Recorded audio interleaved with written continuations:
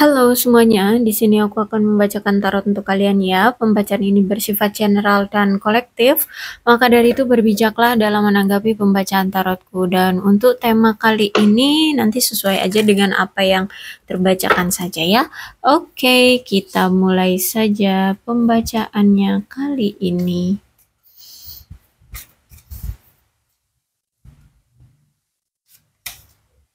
Oke. Okay.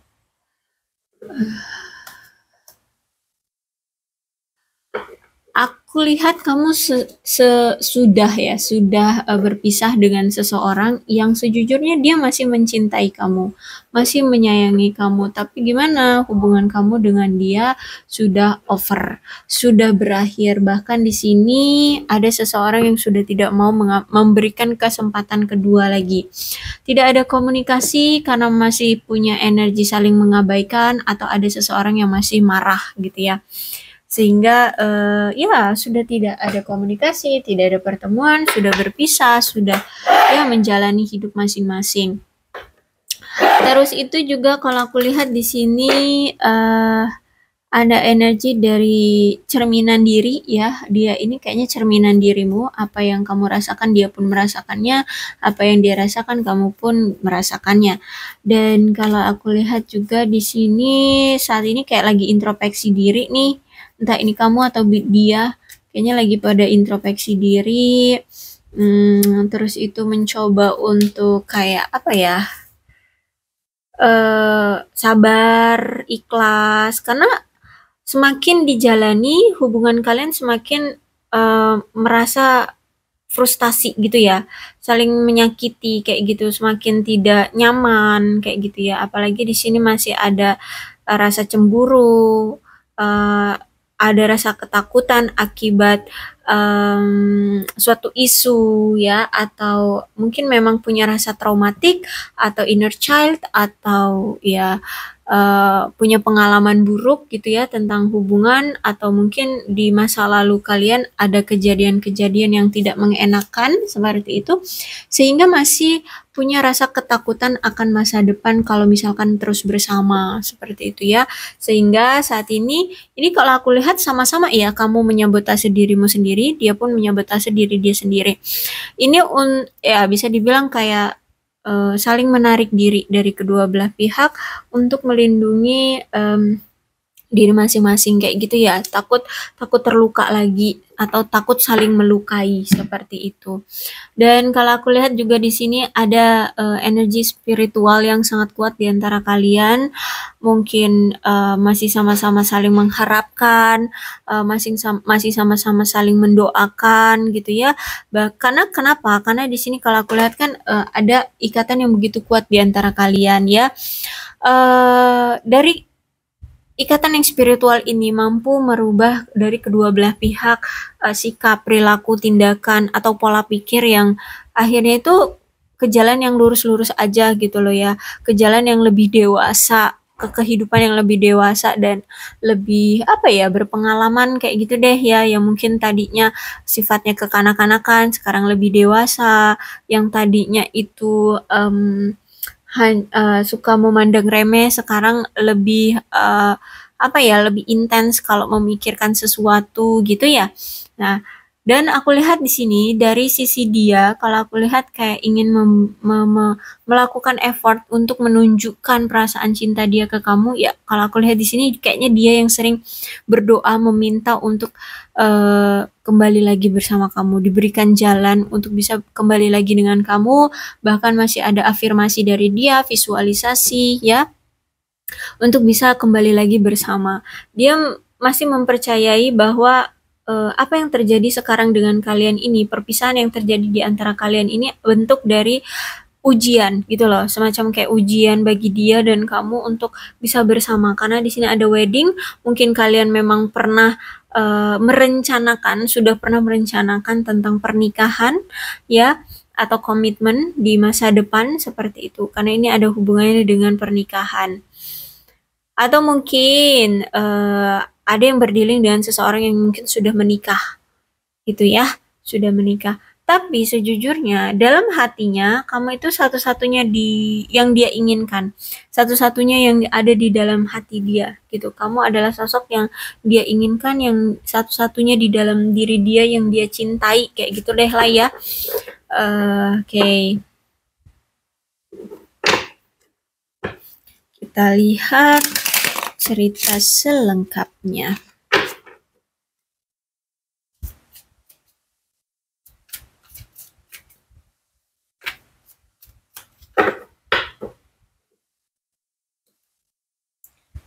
Oke. Okay. The hero pen-nya reverse.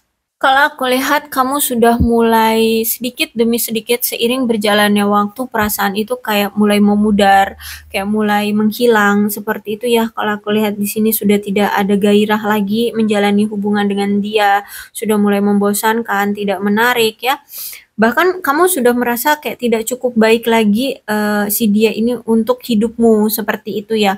Entah apa ketoksikan ketoksikan yang memang pernah dia lakukan ke hubungan ini sehingga kamu sampai sampai merasa kayak dia bukan seseorang yang bisa menguntungkan atau memberikan uh, apa itu namanya memberikan kebaikan di dalam hidupmu seperti itu ya. Sehingga seiring berjalan waktu semua kegembiraan atau semua uh, gairah yang kamu rasakan tadinya terhadap dia seperti sudah menghilang kayak gitu ya. Dan kamu aku rasa di sini sudah apa ya? Ya, sudah sudah gini, kamu kayak merasa sudah menyeret pasanganmu atau si dia ini uh, pergi dari hidupmu kayak gitu ya Uh, dan apalagi di sini aku lihat kan kamu selalu terus-menerus uh, berusaha untuk membuat hubungan ini berhasil. Kamu yang selalu banyak effort di sini kalau aku lihat. Uh, bahkan berbagai macam pandangan kamu untuk membuat hubungan ini berhasil kamu selalu lakukan. Kamu selalu coba untuk kamu lakukan dari sisi ini, sudut pandang ini kamu akan coba. Dari sudut pandang ini kamu akan coba seperti itu ya. Mungkin bahkan kamu minta saran ke teman atau ke keluarga atau gimana, tapi tetap aja nggak ada yang berhasil apa pun yang kamu lakukan, usaha yang kamu usaha, yang terus menerus kamu lakukan, berbagi pandangan juga dengan dia bahkan kalau aku lihat di sini ya. Terus itu kamu selalu mencoba untuk melakukan percakapan terus-menerus dengan dia tapi hasilnya nihil. Hasilnya tidak mendapatkan sesuai dengan apa yang kamu inginkan. Kamu tidak mendapatkan hubungan yang langgeng, justru malah ya ngalur ngidul gitu ya kayak uh, dia pergi ke sana, kamu pergi ke mana, kayak gitu ya. Jadi kayak selalu uh, bertolak belakang seperti itu ya. Walaupun kamu selalu mencoba uh, terus berkomunikasi dengan dia apa yang kamu mau, apa yang tidak kamu mau, apa yang kamu suka dan apa yang tidak kamu suka. Bahkan sering berbagi pandangan, kamu maunya hubungan kita begini begini begini, tapi tetap tidak ada respon baik dari dia atau tindakan baik dari dia ya uh, sehingga di sini kamu um, sudah kayak tersadarkan gitu ya kamu saat ini tuh sudah menunjukkan uh, apa ya perilaku tidak boleh percaya lagi pada hal-hal yang sama meskipun itu uh, kayak akan ada bayangan atau mem memberikan fantasi kepadamu tentang masa depan bisa bersama tapi kayak kamu sudah tidak mau lagi percaya dengan hal-hal yang sama seperti dulu kayak gitu ya. Kamu tidak mau mengulang situasi yang sama seperti dulu dan kamu sudah tidak percaya lagi dengan apa yang pola yang sering dia lakukan seperti dulu. Sehingga hubungan kalian uh, akhirnya saat ini tuh berpisah. Ya, perpisahanlah yang terjadi. Ya mungkin karena memang sering sekali ya ada pola yang berulang di antara kamu dengan dia. Entah dia yang selalu uh, melakukan pola yang berulang di hubungan ini sehingga kamu sudah muak mungkin ya. Kamu sudah capek uh, selalu dibohongin. Dia bilang dia akan berubah, taunya tidak ada perubahan sama sekali dari dia atau apa dia ingin melakukan A tapi buktinya dia tidak melakukan A, justru malah dia melakukan uh, Z kayak gitu ya. Mungkin ah jadi intinya kamu sudah muak, kamu sudah capek di sini. Oke, okay, kemudian aku lihat di sini juga ada yang tidak jujur di sini. Mungkin dia yang banyak sekali tidak jujur dan tidak terbuka tentang segala sesuatunya kepada kamu sehingga ini juga yang membuat hubungan kalian akhirnya merenggang.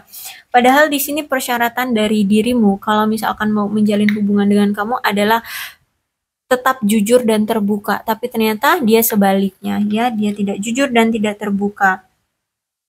Bahkan ada sikap manipulasi dari si dia yang membuat kamu kayak ah, lelah, capek gitu ya. Uh, ya, situasi yang selalu termanipulasi gitu loh. Kamu kayak akhirnya kayak membuat perasaanmu kayak dipermainkan seperti itu ya kalau aku lihat di sini sehingga uh, mau nggak mau kamu harus menghindari dia uh, untuk membuat hidupmu lebih sehat kalau aku lihat di sini ya. Karena uh, setiap dia melakukan manipulasi selalu menyebabkan pertengkaran ya percakapan yang selalu memanas akhirnya mau nggak mau ya saling menarik diri berpisah. Akhirnya ya hubungan gini-gini aja. Nggak ada kemajuannya nggak ada uh, tujuannya seperti itu. Ya stuck. Dan ya entah deh gimana ceritanya. Pokoknya hmm, tujuan arah hubungan ini pun nggak jelas kalau aku lihat di sini. Oke, okay, kemudian kalau aku lihat di sini, hmm, untuk saat ini, baik ini kamu ataupun dia sedang mengevaluasi setiap situasi yang pernah kalian alami. Bahkan di sini kalau aku lihat, kalian benar-benar hati-hati banget sebelum mengambil langkah apa pun dalam hubungan ini. Bahkan dalam cara pandang kalian memahami konflik itu pun uh, dapat mempengaruhi uh, hubungan ya. Kalian takut justru malah kalau kalian gegabah dalam mengambil langkah atau mengambil keputusan tindakan uh, justru malah akan uh, lebih mempermarah memperparah hubungan kalian. Kemudian kalau aku lihat saat ini um, kalian sama-sama diam, sama-sama pura-pura tidak menunjukkan perasaan sesungguhnya ya. Ini tidak ada apa ya? Kamu tidak merealisasikan perasaanmu ke dia dan dia pun seba, sama seperti kamu. Sama-sama silent treatment sama-sama menutup diri sama-sama tidak mau membuka uh, diri untuk menunjukkan perasaan satu sama lain. Dan kalau aku lihat di sini ya ada rasa emosi dan frustasi dari diri dia karena tidak bisa merealisasikan perasaan dia ke kamu di sini. Um, dan aku lihat di sini juga mungkin kadang kamu juga seperti itu. Kamu kadang ngerasa frustasi ya karena uh, tidak ada komunikasi ya tidak ada pertemuan dengan dia tidak bisa merealisasikan atau mengekspresikan rasa cinta kamu. Kadang mungkin kayak gitu ya karena karena di sini mirroring. Ya kamu dengan dia itu sama ya. Uh, mirroring you you know lah ya mirror kayak saling berkaca, bercermin, saling bercermin. Nah, seperti itu kamu dengan dia, apa yang kamu rasakan dia yang rasakan dan sama seperti itu juga sebaliknya ya. So, aku lihat di sini um, sejujurnya gini, kalian itu punya prinsip bahwa uh, kita bisa terjalin hubungan ini dengan baik jika sama-sama satu pemikiran, satu tujuan, satu pola pikir gitu ya. Sedangkan uh, selama ini kalian itu penuh dengan pertengkaran, berarti kan kalau udah penuh dengan pertengkaran berarti masih ada perbedaan pola pikir, tujuan ataupun pendapat di sini. Nah, jadi makanya di sini kalian memilih untuk uh, memilih untuk uh, sendiri dulu, ya. Uh, terus itu aku lihat di sini bahkan sampai-sampai ada perasaan kayak apa sih um, kayak ini loh perasaan yang terpendam ini kayak udah nggak sehat lagi kayak gitu ya. Akhirnya di sini kalau aku lihat e, menunjukkan adanya e, ketidakpuasan ya dari kedua belah pihak ada ketidakbahagiaan dari kedua belah pihak karena um, apa namanya selalu memaksakan kehendak kayak gitu ya dari perbedaan pola pikir ini. Jadi kalian itu pengen punya uh, hubungan perasaan yang bahagia dan puas satu sama lain, bahkan pengen punya uh, apa ya? Uh, kesehatan mental yang baik kayak gitulah. Nah, selama ini kesehatan kalian itu secara mental itu waduh buruk banget. Ya karena itu dikit-dikit bertengkar, dikit-dikit dipermasalahkan, dikit-dikit salah paham seperti itu ya kalau aku lihat di sini. So, saat ini kalian memilih untuk menghindari konflik atau argumen dan melarikan diri dari konfrontasi yang akhirnya akan menyebabkan perselisihan dalam kepercayaan dalam uh, kepercayaan komunikasi kalian. Seperti itu ya. Kepercayaan dan komunikasi kalian. Eh ribet banget aku ngomongnya. Oke, jadi saat ini kalian lebih memilih untuk menarik diri satu sama lain uh, dan berdiam diri ya mengharapkan aja uh, berdoa gitu ya. Mudah-mudahan Tuhan mau uh, memberikan kesempatan lagi untuk kalian bisa bersama. Nah, apalagi di sini kalau aku lihat memang saat ini tuh dia lagi ada beban hidup ya, ada tanggungan, ada uh, kewajiban yang harus dia penuhi. Nah, ini yang lagi dia sembunyikan dari kamu.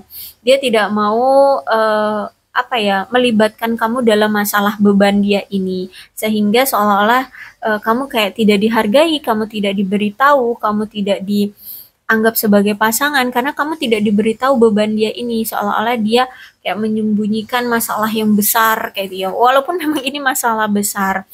Nah intinya saat ini dia tidak jujur dengan keadaan dia dan kamu merasa bahwa uh, kamu tidak dihargai sebagai pasangan.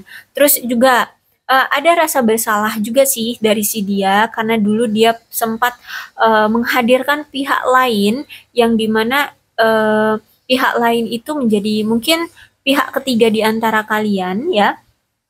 Uh, padahal uh, pihak ketiga itu uh, sebenarnya bukan orang yang benar-benar dia cintai. Mungkin dia uh, menjalin hubungan dengan pihak ketiga itu karena ya suka aja, mungkin secara fisik cantik atau ganteng kayak gitu ya. Jadi kayak cuman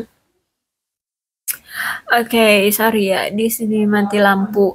Jadi uh, kalau aku rasa, um, ya dia merasa bersalah karena pernah menghadirkan pihak ketiga di antara kalian dan membuat hubungan kalian akhirnya berakhir. Kayak gitu ya membuat hubungan kalian akhirnya berantakan seperti itu aku lihat. Um, apa ya? Uh, banyak sekali ketidakpuasan ya yang terjadi uh, secara internal di antara kalian juga ya mungkin karena ya ini dia menghadirkan pihak ketiga mungkin berulang kali kali ya. Uh, mungkin berulang kali sehingga kamu mungkin udah muak dengan dia dan memilih untuk pergi. Tapi di sini ada the full ya. Aku rasa dia akan datang lagi ke kehidupan kamu. Dia akan datang lagi untuk uh, menjalin hubungan dengan kamu. Tapi karena ini the full nampaknya ini tindakan impulsif dari dia Ya, hati-hati. Uh, kenapa? Karena di sini berarti dia ini belum siap untuk berkomitmen.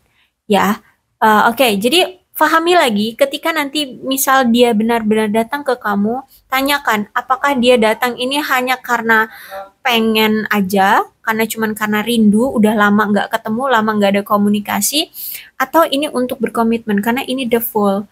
Jadi aku rasa dia kayaknya belum siap untuk berkomitmen dengan kamu. Seperti itu ya. Jadi kamu jangan terlalu baperan, kamu jangan terlalu kegeeran ketika dia datang, berarti dia udah pasti akan memilih kamu dan berkomitmen dengan kamu. Tidak, uh, sebaiknya tetap jaga hati ya, karena di sini masih the full ya, bukan uh, ten of uh, pentacles atau ten of uh, cups seperti itu ya. Jadi so uh, pastikan, kecuali kalau memang benar-benar tindakan dia menuju ke arah pernikahan. Dia ingin melamar kamu, datang dia memang uh, tujuannya mau datang ke kamu untuk melamar kamu atau gimana. Atau paling enggak ada lah ya um, apa ada tindakan dia ke langkah selanjutnya dalam hubungan kayak misalkan yang tadinya belum pernah ketemu sama sekali dia ingin datang ke kamu untuk ingin kenal keluargamu silakan untuk welcome tapi kalau misalkan dia cuma datang untuk ya untuk ya pengen tahu aja gitu pengen memuaskan rasa rindu jangan terlalu banyak berharap. Oke, okay? itulah pesan dari pembacaan ini ya, karena aku lihat di sini dia masih the full ya masih secara impulsif datang mungkin karena rindu karena sudah lama tidak bertemu sudah lama tidak ada komunikasi. Ya oke. Okay. untuk zodiaknya di sini ada Leo Aries Sagittarius Cancer Scorpio dan Pisces. Energi paling kuat di sini ada Taurus. Alfabetnya di sini ada M H I X D R uh, L, kemudian G A U S P T W N F uh, Y V O K Z J E B.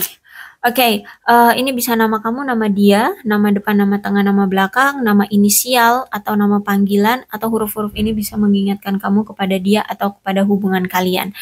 Uh, berbijaklah ya dalam menanggapi pembacaan tarotku. Kedua belas zodiak bisa resonate dalam pembacaan ini. Asalkan ceritanya sama dengan keadaan kalian, maka ini pembacaan memang untuk kalian. Berbijaklah dalam menanggapi pembacaan tarotku. Aku akhiri. Salam sehat untuk kalian semua dan bye-bye.